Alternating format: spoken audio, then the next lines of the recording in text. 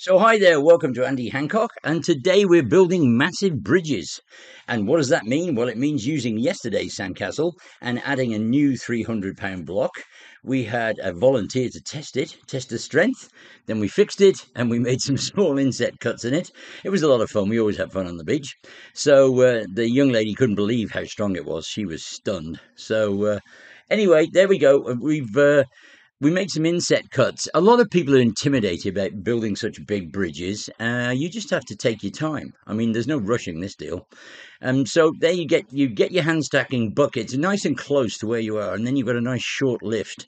Uh, with your wet sand in your hands, and that means you retain most of the water. So this is very, very simple to do. And then check the size of the bucket on uh, onto between the castle and the new block.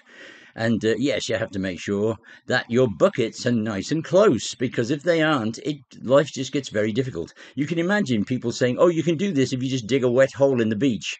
Yeah, that doesn't work. So uh, when you're building professional stuff like this, we uh, you have to have uh, sand and water very close. You also, it's great if you've got a volunteer. I mean, I've got a cameraman, uh, but he can't shovel sand and water while he's using the camera. So I had to stop once or twice to fill the bucket, but. Uh, uh, you do need it nice and full for when you're hand stacking, and that way you don't run out of great big quantities of sand and water, which you'll need. So you can see I'm using a lot of wet sand to form the bridge. And this is because I'm using it to support the base of the upright that I'm building with the hand stacking. And uh, I just think it makes it stronger and gives it more form. So that's why I do it like this. I smear it with my hands as well. I'm forever on my videos saying don't use your hands.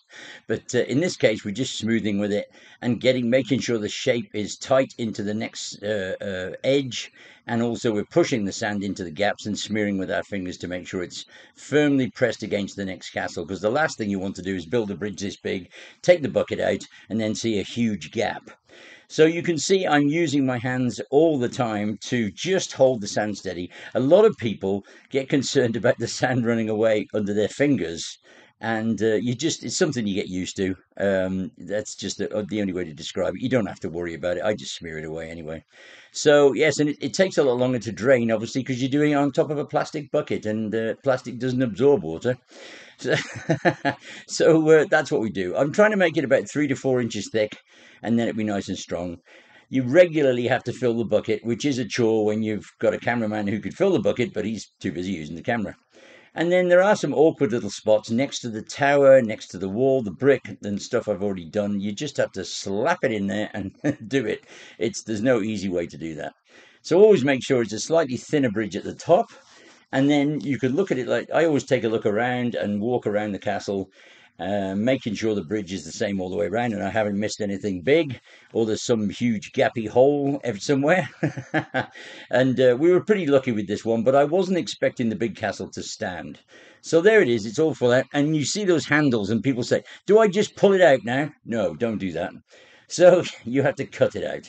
So we cut it out. First, use the big trowel just to make a nice arch on the top, follow the shape of the bucket and that's very very easy. This trowel is fabulous for for doing the big fast stuff. I mean people always ask how i go so quickly. Well this is how i go so quickly because i have the right tools.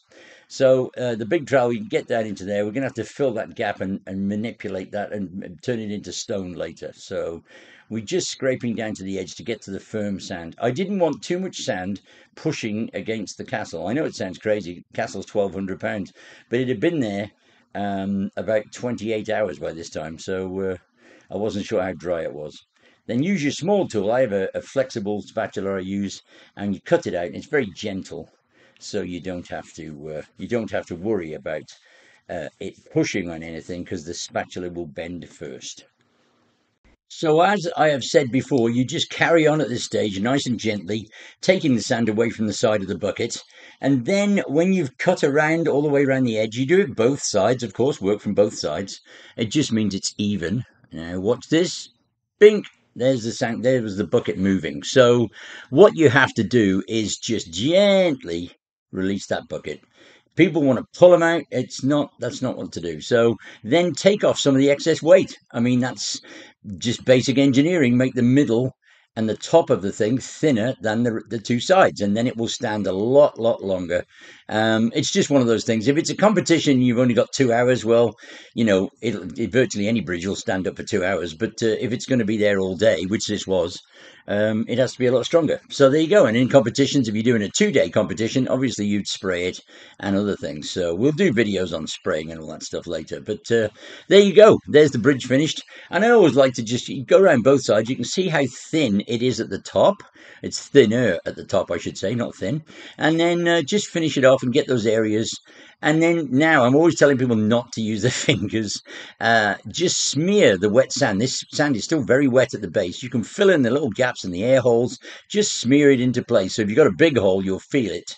Um, just do it gently with the outside of your fingers. And then I like to make my arches straight sided because they look more dramatic, I think.